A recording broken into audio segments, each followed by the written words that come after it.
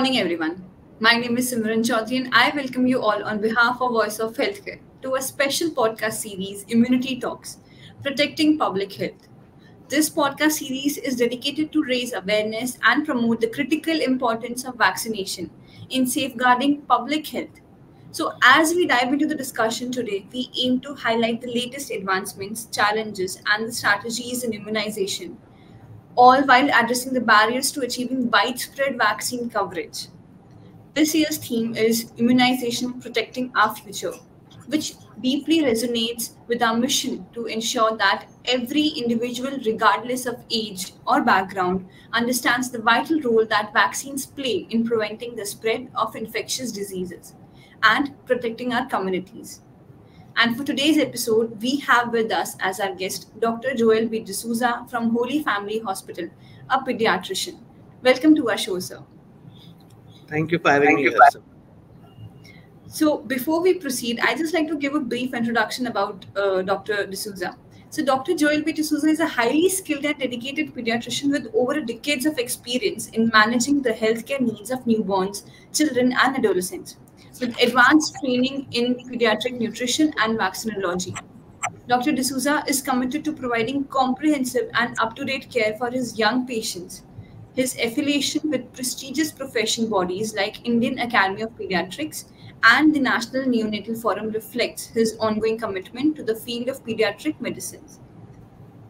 So, without any uh, you know uh, any more uh, wasting of our time i would like to jump to a question because uh, we both know how important is this month this topic which we're talking about especially this uh, ever evolving new diseases where we're getting every month every day you know even while we're talking some new diseases some new viruses surfing on on i don't know where and we get to know about it. So so I would like to know, since you are highly experienced in neonatal and uh, so the newborn babies, so I would like to know for parents who are not familiar about this vaccine vaccination and the schedule which has to be followed.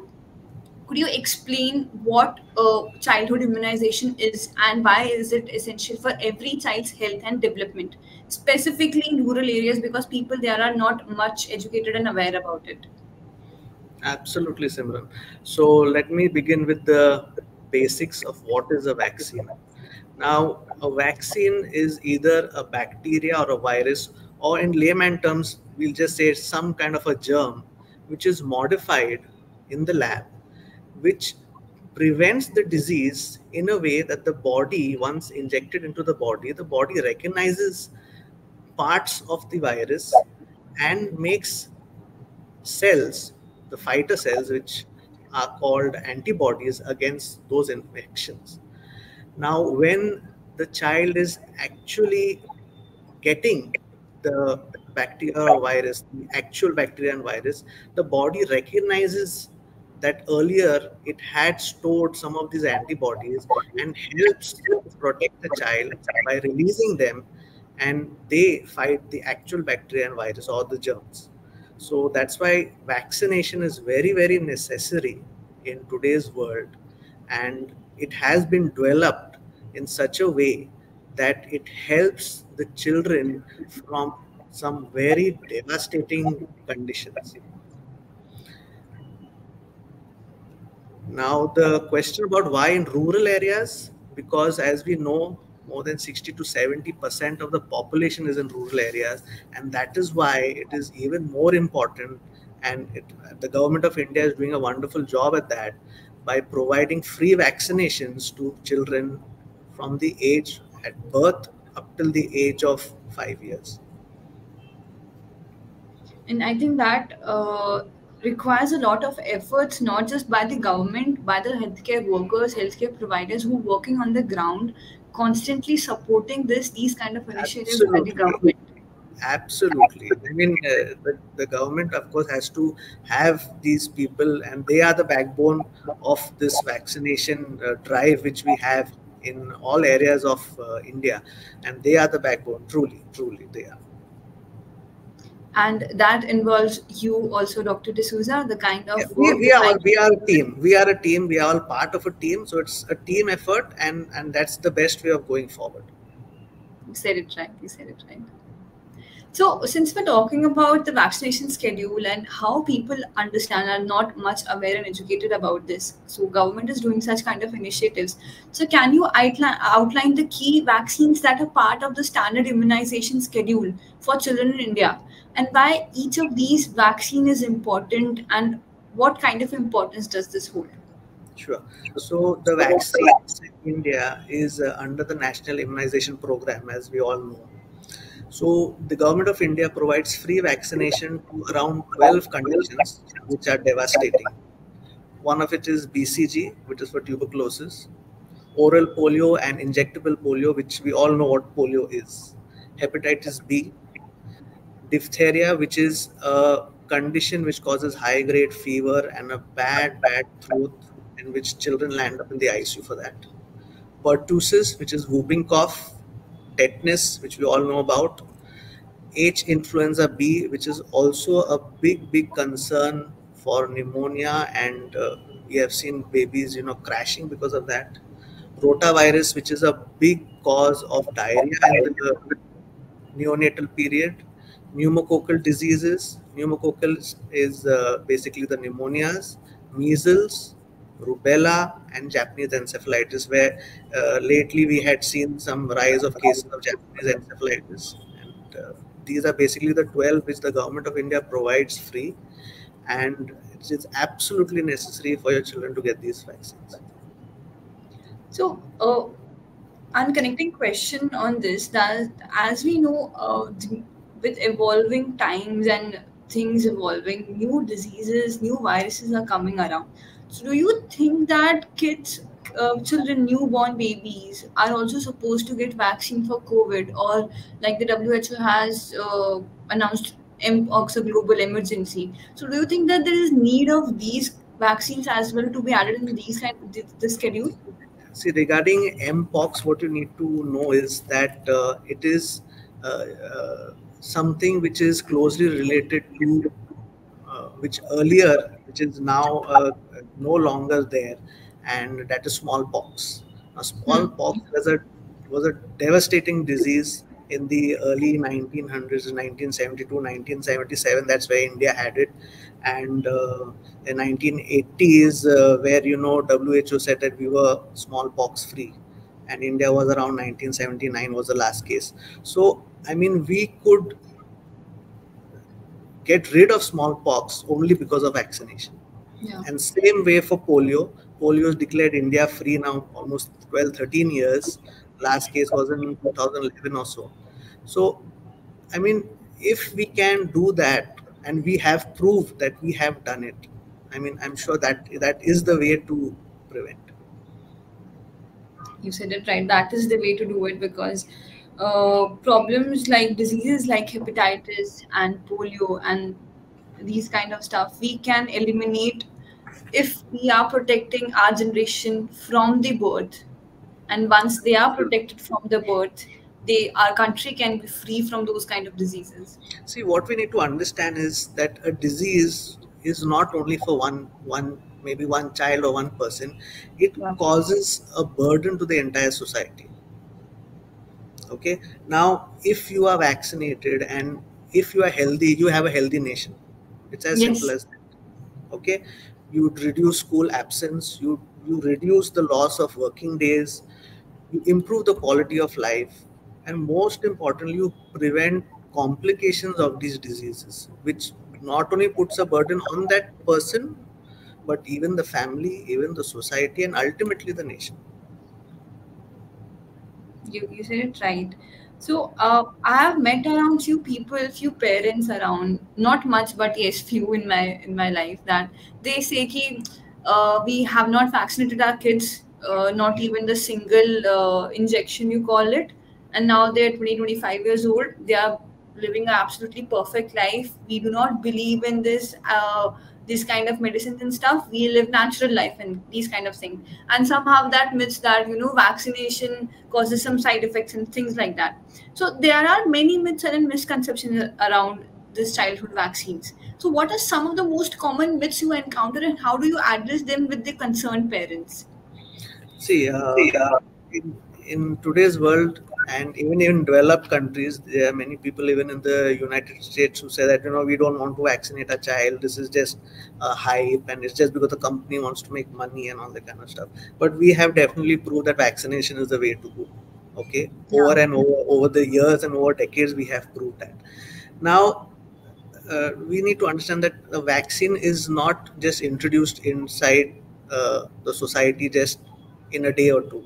It undergoes rigorous trials over a period of many years okay? So even before the lab testing there's an exploratory phase which is done for the vaccine. And then after that it starts preclinical trials and then after that there are clinical trials okay? Now many parents come with the concern that okay the baby will get some fever with the vaccine. Simply mm-hmm. to understand any medicine anything made by man cannot have no side effects everything will have a side effect but we have to weigh the pros and cons. What is is it safer for your baby to get fever for a day or is it safer for your baby to land up in the icu it's as simple as that okay?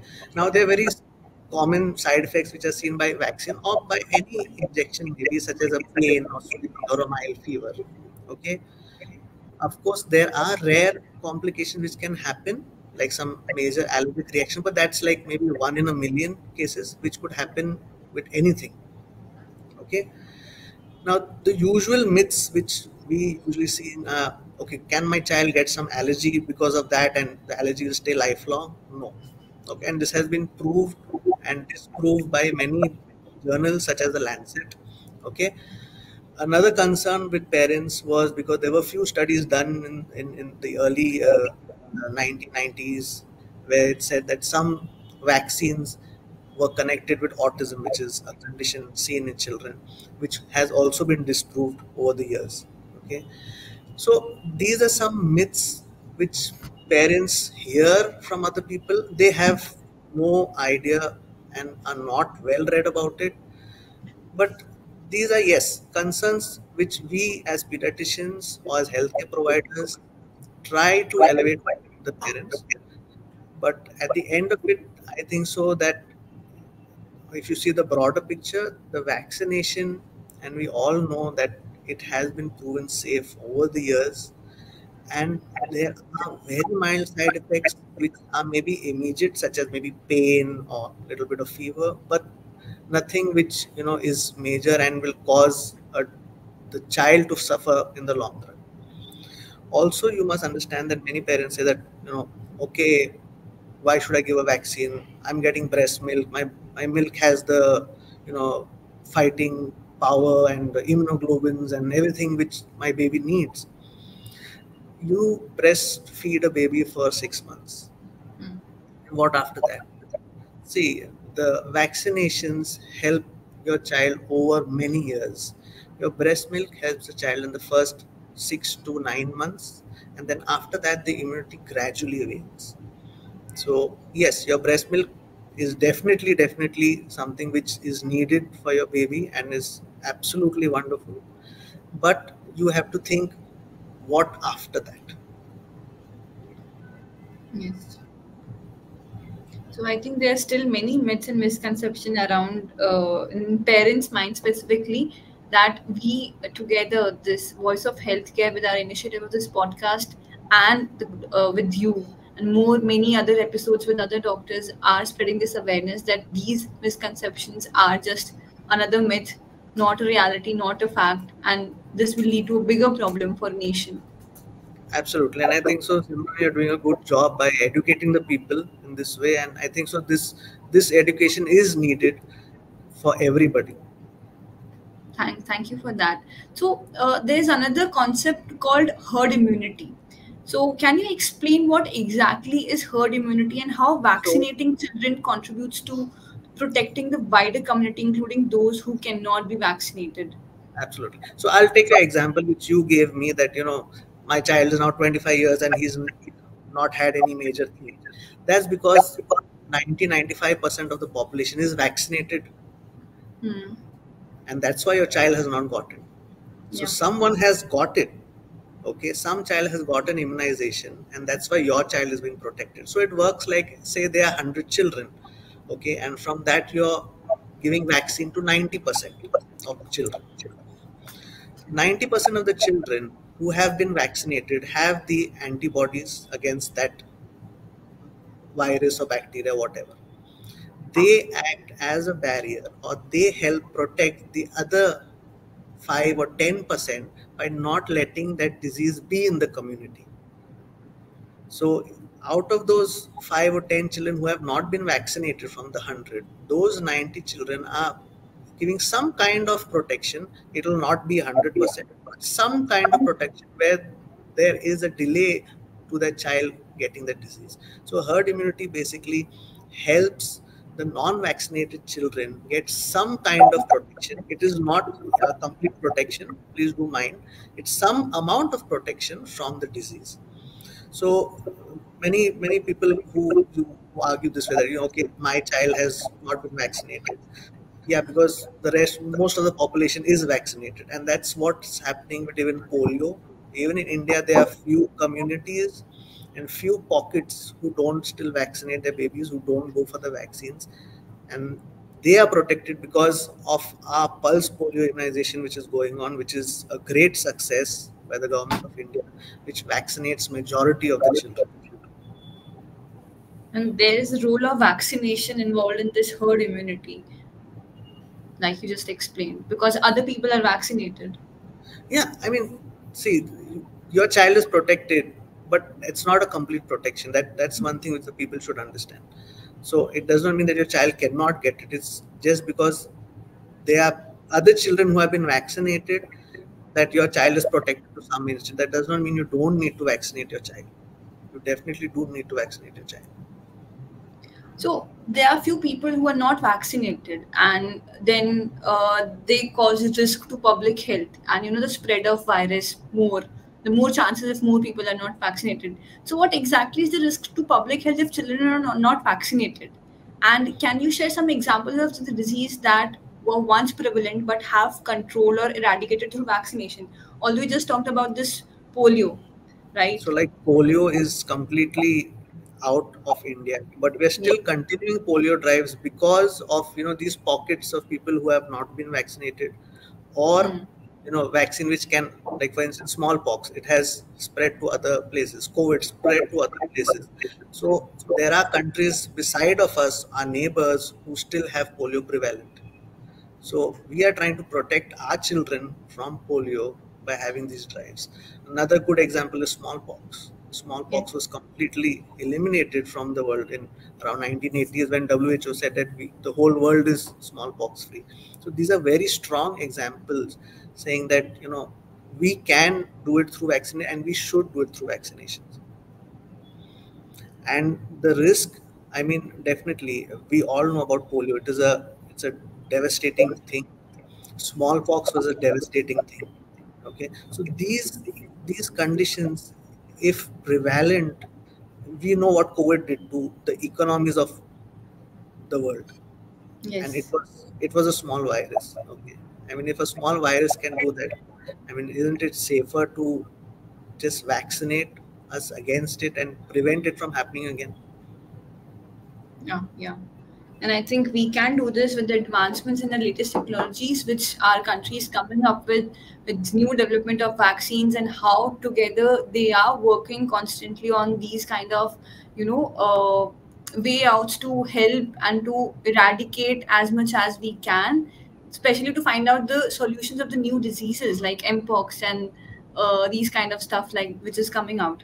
So and thank you so much dr d'souza for coming to our platform and sharing your insights and knowledge with us. This matters a lot means a lot to aware our public about the importance of immunization. Thank you so much simran for having me. thanks a lot